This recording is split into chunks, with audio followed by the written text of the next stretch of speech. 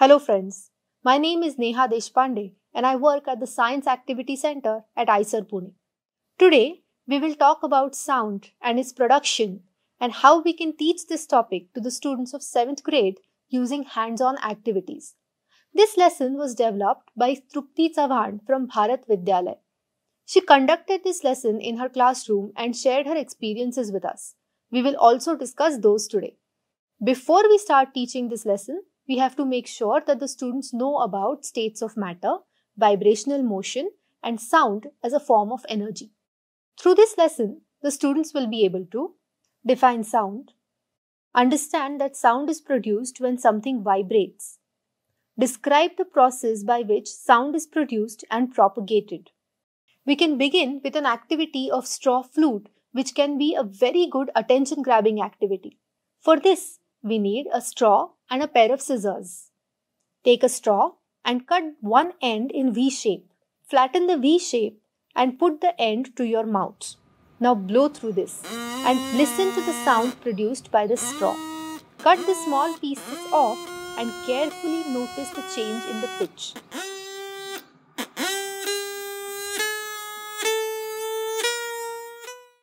They might guess that they are going to study about different musical instruments. Make sure that we tell the students about the concept of sound waves in the flute before we facilitate the discussion towards production of sound. For this, we can do the next activity.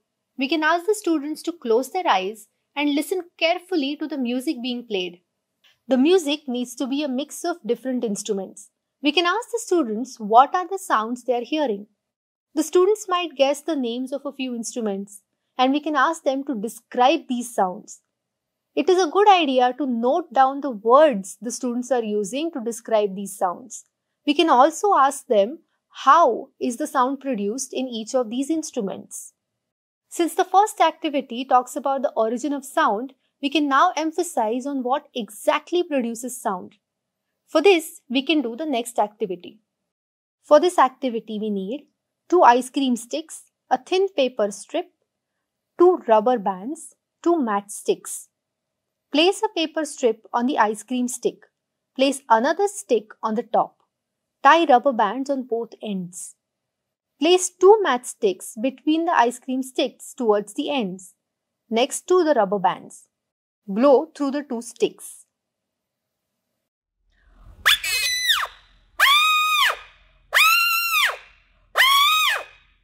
In this particular toy, we can ask them where the sound is originating from. The students are already familiar with the types of motions, so they might respond by saying that the vibrational motion of the paper strip is producing sound. We can relate this knowledge of production of sound with the musical instruments that we heard earlier. We can also talk about how vibrations produce sound. In the next activity, we can ask the students to look at pictures of different musical instruments or hear the sounds made by these instruments. This can be done in the form of a video or the live instruments being played in front of the students as per your convenience. Based on the observations, we can ask them to note down the similarities and differences between the instruments. Additionally, we can ask them what is vibrating in each instrument to produce sound. Once they think about this question, we can ask them if it is possible to make their own musical instrument and would they like to do that. This will lead us to our next activity. For this activity, we need a ballpoint pen refill, an old sketch pen or marker, a balloon, a film canister, a rubber band, and a pair of scissors. Make a hole in the base of the plastic box and another hole near the top to insert the refill. Make two holes in an old sketch pen using scissors. Stretch the piece of the torn balloon over the mouth of the box. Secure it with a rubber band. Insert the sketch pen in the hole at the base of the plastic box and insert the pen refill in the hole on the side of the plastic box. Blow through the horizontal refill and create the sound.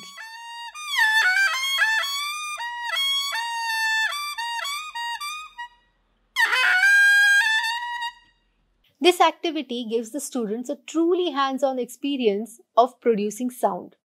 After they are done playing with this musical toy, we can ask them what exactly in this toy is producing sound. After this, we can discuss with them the possibility of creating different kinds of sounds and if it can be done. As closure, we can ask them to write down the answers to the following questions.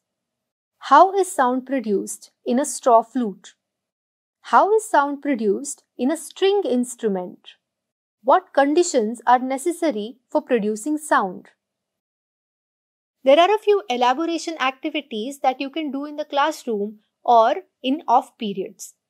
There is one such activity in which you can produce sound by using just a glass and some water. Fill a glass half with water.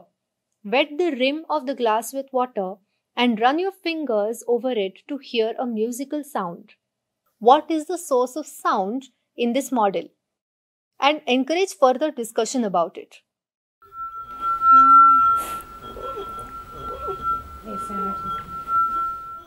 Through these activities, we talked about how sound is produced through vibrations and what is the working principle of different musical instruments. This activity based approach will not only help your students understand the concept better, but also help them enjoy it in the process. More such activities are given in the text lesson plan, the link for which is given in the description of this video. Please try these activities in your class and let us know your experience. Thank you for watching.